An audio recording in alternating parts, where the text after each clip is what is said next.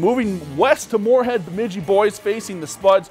Jacks down three early in the first. They give it to Cody Roeder in the paint, and he goes to work, cutting the lead to one. And then the Jacks would keep attacking down low. Caden Rolfus takes the pass, finishes with the pretty up and under.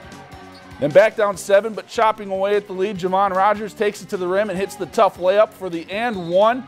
Jacks would trail by 14 at one point in this game, but they would go on a 20 0 run in the second half, and they beat Moorhead tonight by a final of 72 64. If you've enjoyed this segment of Lakeland News, please consider making a tax deductible contribution to Lakeland Public Television.